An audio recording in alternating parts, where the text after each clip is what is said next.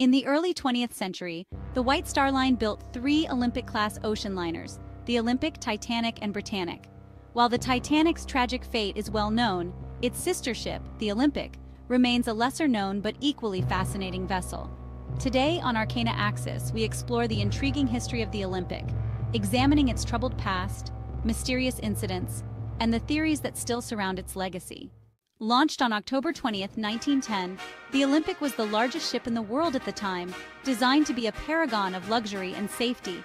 It boasted a double-bottom hull and 16 watertight compartments, features that were meant to make it virtually unsinkable.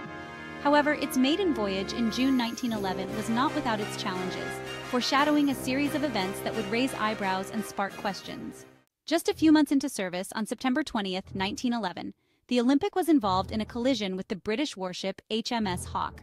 The damage was significant, though no lives were lost. While investigations at the time attributed the collision to navigational issues, some have speculated that there may have been other factors at play. However, it's important to note that historical evidence supports the official findings. This was not the only incident the Olympic narrowly avoided another disaster in New York Harbor and even experienced a fire on board. These events have led some to wonder if the ship was cursed, or simply unlucky. But are these incidents truly evidence of something more sinister or just the hazards of maritime travel in the early 20th century? In the wake of the Titanic disaster in 1912, a theory began to circulate. One that suggested the Olympic and Titanic were switched in a massive insurance scam.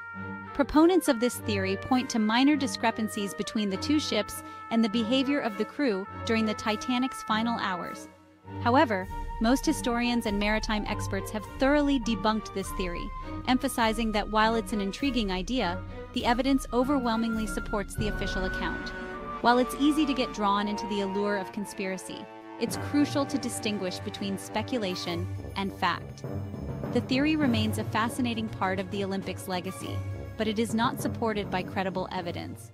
The Olympics served dutifully through World War I and continued to operate until its retirement and scrapping in 1935. Yet, even in death, the ship's legacy is said to linger. Artifacts salvaged from the Olympic have reportedly been linked to strange occurrences, unexplained noises, sudden cold drafts, and even ghostly apparitions. While these stories are often dismissed as mere coincidences, they add to the ship's mysterious aura. Whether these tales are the result of overactive imaginations or something more, the Olympics history remains a blend of documented fact and maritime legend.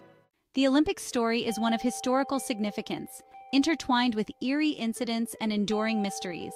While it may never achieve the same level of fame as its ill-fated sister, the Titanic, the Olympic occupies a unique place in maritime history.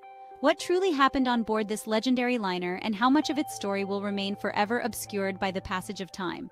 Thank you for watching Arcana Axis. If you enjoyed this exploration into the unknown, please like, share, and subscribe. For more intriguing maritime mysteries, click the I button to watch our video, The Shocking Reason the Titanic Sank So Quickly. And as always, stay curious.